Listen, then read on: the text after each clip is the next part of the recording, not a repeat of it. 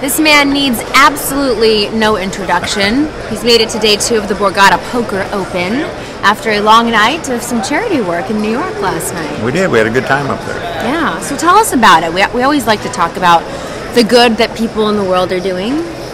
Well, they were doing it for the Labyrinth Theater in New York, and it was a big charity event. A lot of high rollers up there, people had some big money, and it was about 50 players that had paid 5000 each, and Borgata sponsored the event, actually, and me and Vince and uh, uh, a couple other pros and some staff from Borgata went up there and, and played the tournament there, so it was sort of fun.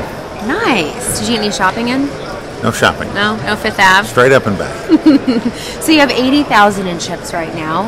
I think average is around 55. Do you have 80, right? Yeah, I have about Last 86. I think, Oh, 85 or nice. 6, something like that. Yeah. Nice. What's So I moved up. I started the day with 70,000, so moving up just fine. And, uh, you know, it's just fun for me to play. I don't get a chance to play very often. I know, and that's So- really exciting since we're all here from day one of the tournament.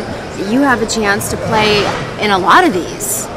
Uh, well, I will. Uh, hopefully, I'll get to play, you know, a fair number this season anyway.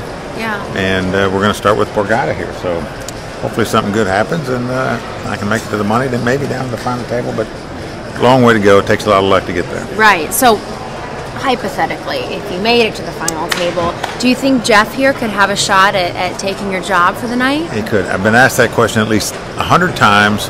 Guys have come up and said, "Hey, who's going to take your place when you make the final table?" The answer is, I don't know. I don't really care, honestly. I'll be down there playing for the big bucks, but I'm sure they'll have no problem filling in the, the role. And uh, Right, right. so Well, it'll be sort of fun, actually. They can mic me up at the table. I'll do it down there. Oh, nice. I would like to see that. And and lastly, I just want to talk about Borgata really quick because I love coming to this casino and it's really one of the nicest casino. I mean, it, it'll rival anything in Vegas, I think. It truly will. It's just a fantastic property. If you've never been to Borgata, do yourself a favor and go. It's just an amazing property, great restaurants, you know, great spas, great facilities here, great poker room, and really is a beautiful place. I was sold on Michael Mina and Bobby Flay. Done.